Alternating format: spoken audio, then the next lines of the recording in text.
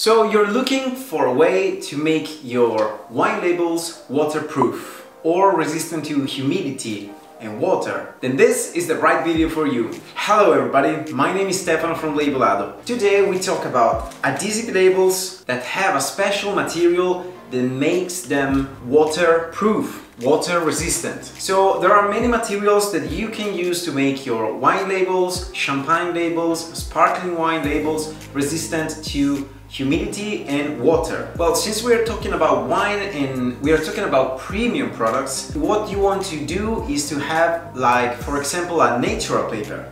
So natural paper can also be water resistant even though the natural texture of the paper attracts water there can be a chemical inside of the natural paper that makes them water resistant. And if you ask your label supplier, you need to ask for a paper that has wet strength, WS, in its name.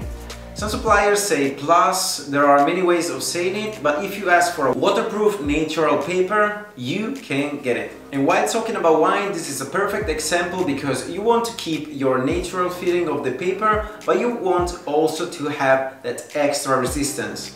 Bear in mind that being water resistant will make them more resistant on the bottle and will make and will make the paper more resistant to wrinkles caused by exposure to humidity and water. But that will not make the paper itself resistant to uh, becoming grayer. The next step, if you want a better resistance, also for, for example, the ice bucket, you want to have the natural paper with a barrier. A barrier is a 20 micron polyethylene barrier, so it's plastic added to natural paper. That's why I'm telling you that this is the second step because probably for your idea of natural product, you don't want to add plastic to a paper material. But that will be the most resistant, the most waterproof, natural paper that you can have. And this is what we usually call a barrier, plastic barrier, which is behind the actual paper substrate. Moving on, we have plastic by itself. Plastic can be polypropylene, PET, PVC that can be varnished both glossy or matte. Plastic by itself is a polymer, so it has a lot of resistance to humidity and water. This is also the cheapest, this is also the cheapest and most effective way of making your wine labels waterproof and water resistant.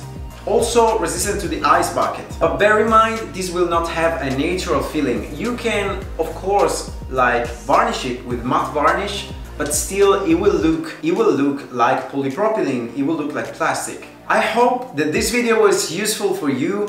Please remember to subscribe to this channel and hit the notification bell so you won't miss any future videos about e-commerce, packaging and design. Don't forget to hit the like button if this was helpful and please share it with your friends, share it with your colleagues and leave a comment down below if you want to know more about the world of wine labels or if you want to ask me a more technical question and I'll be glad to answer back. And as always, Love you all. Ciao.